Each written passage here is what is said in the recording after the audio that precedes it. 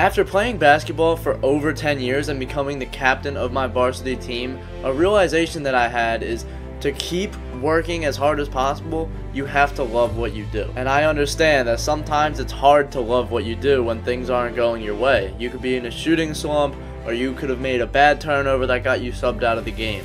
But look, with basketball and anything in life, you can get that motivation back and I'm to show you how. The first trick that I'm to share with you is actually a book that I recommended in one of my other videos. So quick plug, check out that video. It's somewhere on my channel. It's, it's called The 5 Books Every Basketball Player Must Read or something like that. Check this out right here. So, I highlighted it, underlined it, because I knew I was going to talk about it in a video. I read this the other night, and I believe it's perfect for you if you're struggling with motivation. All right, here it is. I'm going to read this to you. Ready? So it's in the book How Champions Think by Dr. Rob Rotella. Yes. Let's take, for example, a theoretical lumberjack. He got into logging because he loved the forest and loved being outdoors. He loved the feeling by selecting the right trees for cutting. He was being a good steward and helping the forest stay healthy. But as the years went by, this fictional lumberjack stopped noticing the smells and the sights of the forest, the birds and the animals, and the clean air. He got bored with cutting trees. He decided he hated the sound of a power saw. Pretty soon, he started telling himself he hated being a lumberjack. His pro- productivity fell. He was in danger of losing his job. If he came to me at this point, I would tell him he had two choices. He could either quit being a lumberjack and find some other line of work, or he could fall in love with it again.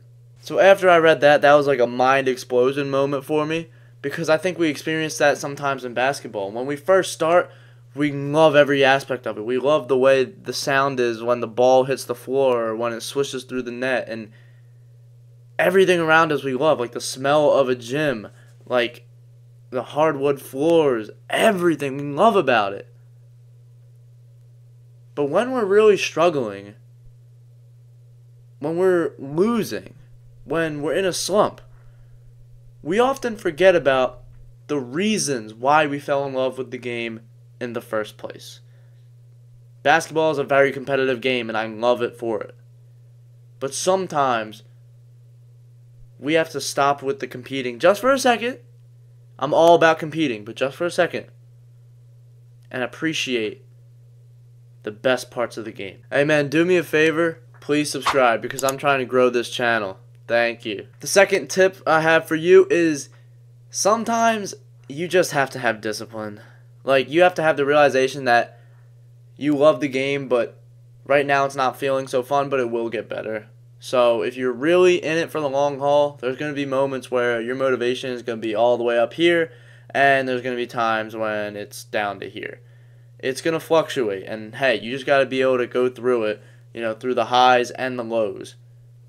But sometimes you're going to have to use your discipline and your willpower to get out there and train even when you don't want to.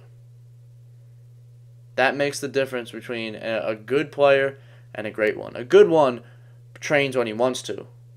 A great player trains even when he doesn't want to. Make it fun by creating a game with yourself. This is something that I did when I was in the shooting slump. Uh, this shooting slump lasted six games, and then on my seventh game, I made one three, and then the game after that, I had like one of my highest scoring games in our fall league. I had at least 20 points, and I hit like three threes. So the game that I had with myself was this. I made the game up. How many threes am I going to take while being fearless?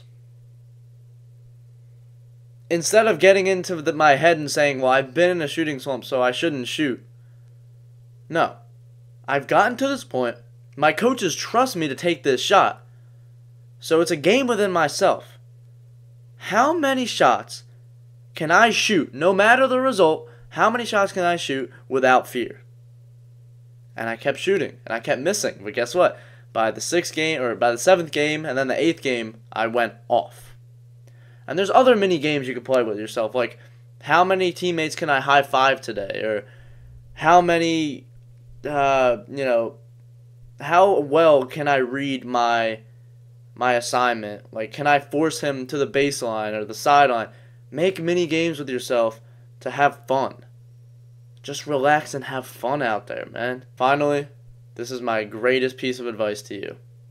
Be like a kid when we played basketball as kids, when we were either having a shoot around in our backyard or the driveway or just having fun with friends playing the game, we weren't all caught up in this, oh, well, I need motivation to train. And no, we just loved it so much that motivation wasn't even a thought. We just went outside and had fun with it. Be like a kid again.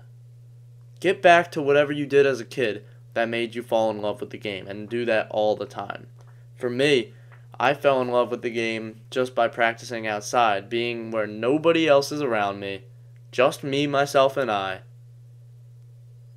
and just shooting around.